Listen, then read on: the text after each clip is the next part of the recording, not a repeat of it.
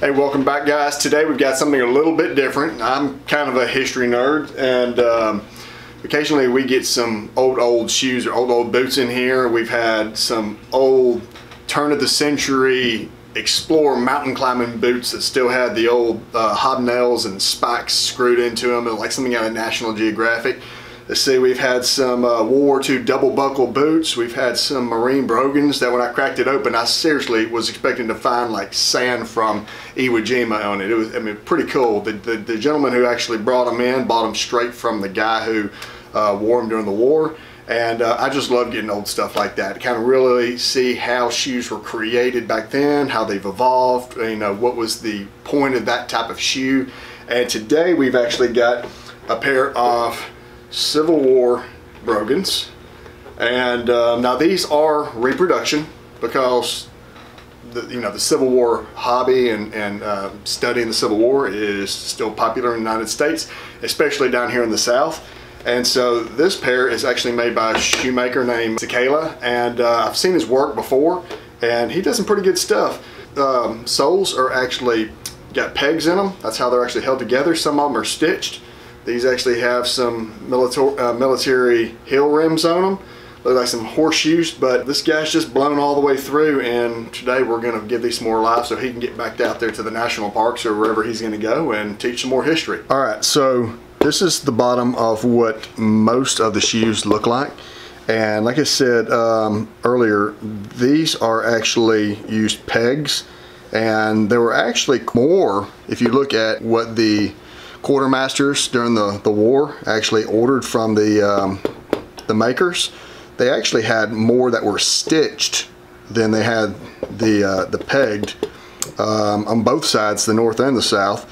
And one of the reasons why is because these pegs, just like on a pair of cowboy boots, how you often have pegs going through the waist, if the sole were to get dry, the leather will shrink and then the pegs can actually dry out and fall out and if the pegs fall out the whole sole falls off. So these are fine as long as you're walking on moist grass or mud or whatnot but um, you, you started to see a lot of these after the war they'd send them out west to like the cavalry units and they had a lot, it's very dry out there, so they had a lot of issues with the soles falling off. It takes a while for these to break in, and this is a very, very crudely made shoe, and I don't say that it's any disrespect to the guy that made it, because he made it exactly the way they're supposed to be.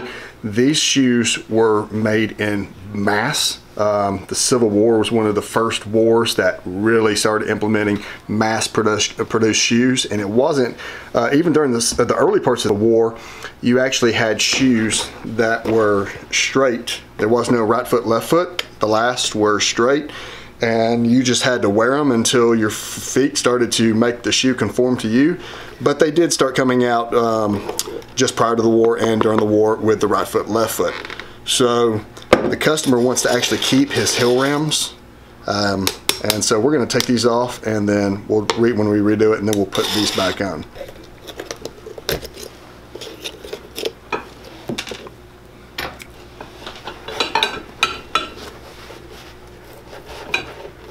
They did do actually a lot of half sole replacements during the war. There's a buddy of mine who was doing some historical architectural stuff down at the Masonic Lodge in Franklin, Tennessee. And he was under the crawl space of the building. And this is an old Masonic Lodge. It was actually used as a barracks for Union soldiers during the war. And he actually found part of a brogan underneath there. It was pretty much just all deteriorated. As soon as he touched it, pretty much just crumbled. But um, they did do half soles on some of these things. There we go. All right, so we've got the block off and as you'll notice, this is all, I've already taken the, what we call the top lift off, but it was all leather. It's just all leather. This whole thing is leather. These, I mean, they didn't have concrete back then. You know, I mean, cobblestones is about the worst that you kind of had to worry about, but this is mostly made for walking on dirt roads, talking know, on grass. But um, we're going to go ahead and make some, some new blocks out of some, some new veg tan leather. And let's get this sole off.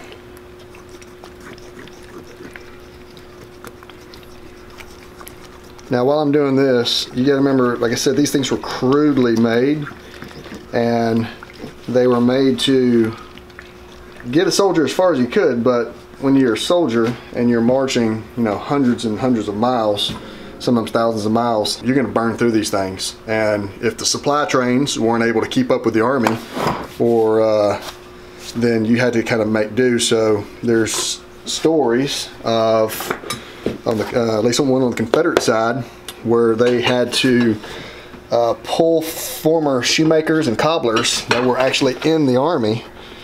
They had to pull them out of the rank, and uh, they were repairing shoes and making shoes right on the side of the road to try to keep the soldiers from going barefoot, even though a lot of them did go barefoot.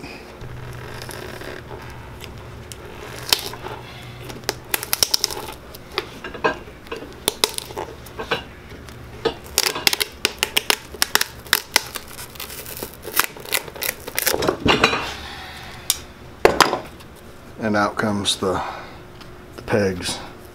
I'm actually going to keep this because I want to know what the distance is for the pegs because a lot of the guys that make these reproduction boots are making these off of originals and um, they pull their stitch width on the uppers and all the details they pull from originals and we want to keep it as historically accurate as we can so uh, I'll try to get back to this. All right, so this is a this is going to be a very simple resole on a simple shoe, and just to kind of keep with the authenticity of the era, we're just going to use our house leather, which you know just a, a simple simple leather, and most of the time this is going to be worn on grass, and so there's no real need to go with a high-end quality leather. Let's put these on.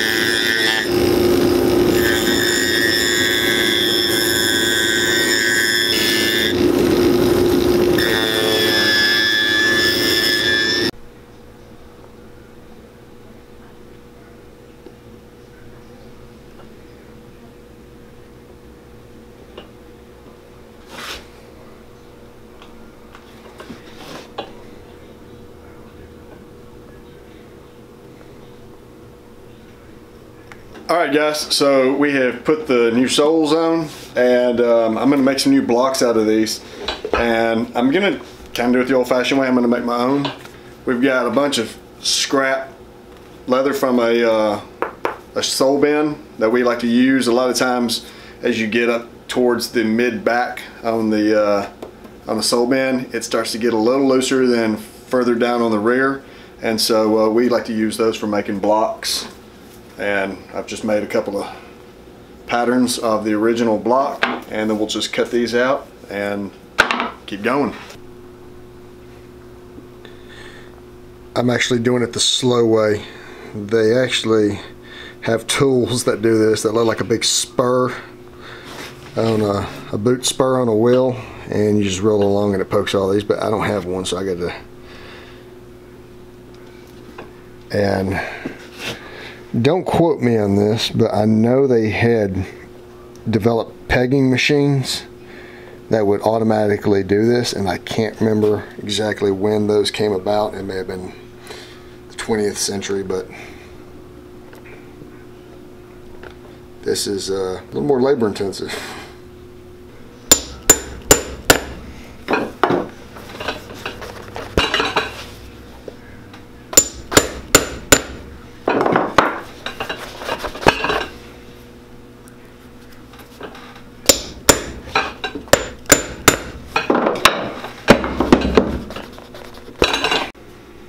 These are lemon wood pegs and I like to just dip a little bit into glue. Usually helps them to go in a little easier, but it also then just helps them to uh, bite just a little bit more. And we don't want them going all the way in. We're actually gonna have to clip these off and then sand them down. But um, I've set my awl to the exact distance that it needs to, uh, the depth that needs to go in.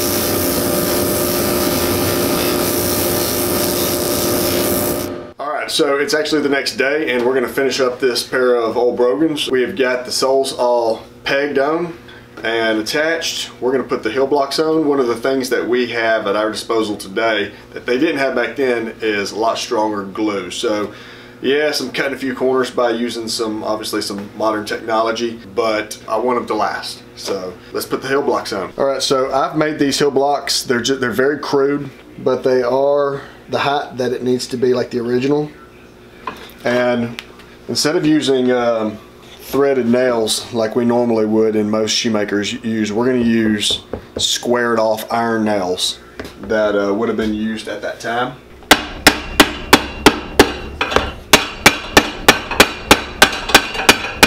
So I'm going to go ahead and clean up the excess so we know exactly where the edge is so I can put all my, my nails around.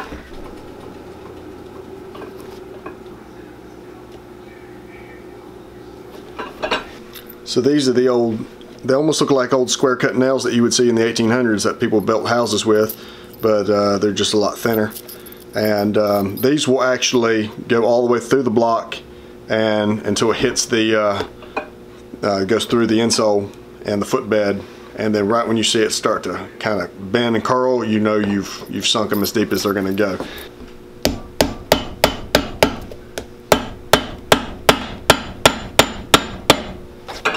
So it bent, we've reached the jack.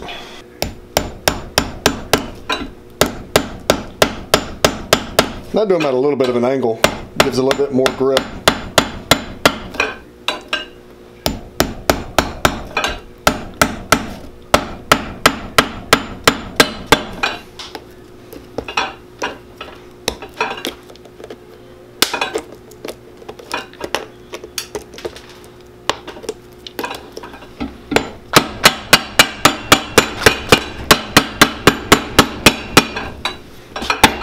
This will be the top lift. We mostly have rubber.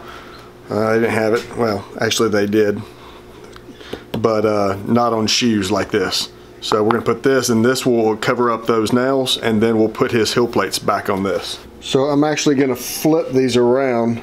This was actually on the other shoe and you can see where he's worn it on this side, but it's kind of like turning your rotors. I'll give him a little bit more life on his heel plates over on this side.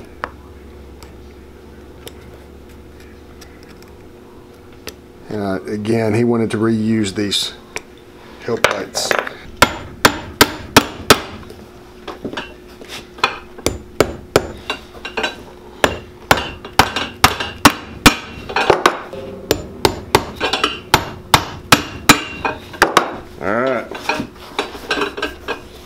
Normally we put a burnishing ink on here that's actually got some waxes in it, but these shoes were not meant to shine on the side and have a high gloss.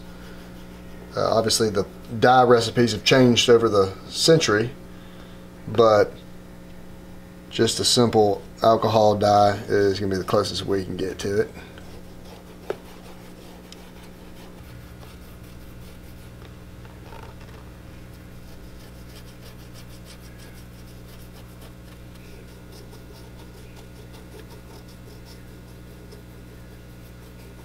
So we put the heel plates on And uh, these things get abused. I mean, they're out in the elements, um, in the wet grass and all, in the mud and all that. So we're just gonna give the uppers a little treatment with some of the Everest. And you might be able to see from here, but the uh, when I dyed these, they're not pitch black. And a lot of the older dyes back then had almost an opaque tint to them. They weren't, you had to go over multiple, multiple times before if you wanted to get them like real dark. So that's the thing that adds kind of to the authentic look to them. All right, this one's treated. And these things are basically done. All I'm gonna do now is actually just spray the bottoms of the soles with water just to let that soak in and let all these wood pegs expand and just really grip on. All right, guys, so we finished up this pair of old Civil War Brogans, uh, reproduction old Civil War Brogans.